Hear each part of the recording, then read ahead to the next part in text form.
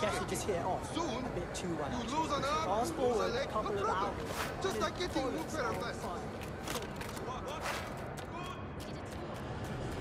Thanks for the free show, mate. Who's first?